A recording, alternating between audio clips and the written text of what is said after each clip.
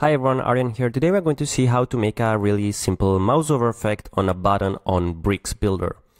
First of all, click on a section and click on container and I'm going to add my button inside of it. So plus button here and search for button.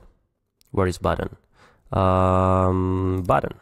Okay, great. So usually the best practice is to change the button settings from the template theme style and you get um, you know uh, a button here element button and if you change this basically every time you add a new button it gets this styling because it's the general settings right?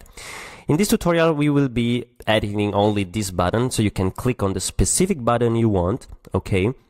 You can also add a class if you want so that this changed on all the other buttons.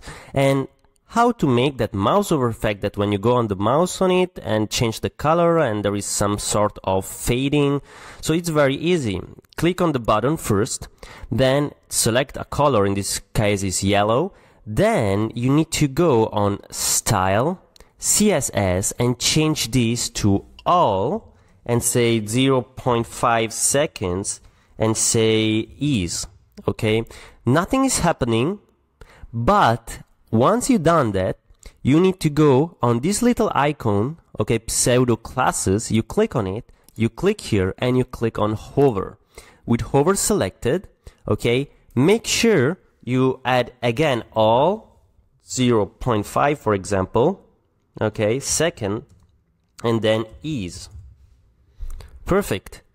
Go on background, and now background color, you can change it to whatever you want. I'm going to choose, uh, let's say, this yellow here or this yellow here. Let's, let's choose this yellow so it's stronger. Okay. What happens now that if I try this, oops, I cannot try it here on the builder. Let me close this first. Okay. And now I can try it. Look at this. Mouse effect done very, very quickly. Okay, and you have the fade in and fade out effect. Cool, right? You can play around with this and just change the CSS uh, seconds and ease in, ease out. You can play around with those transition and yeah, that's all. Thanks a lot guys for this, for watching this tutorial. See you in the next one. Bye.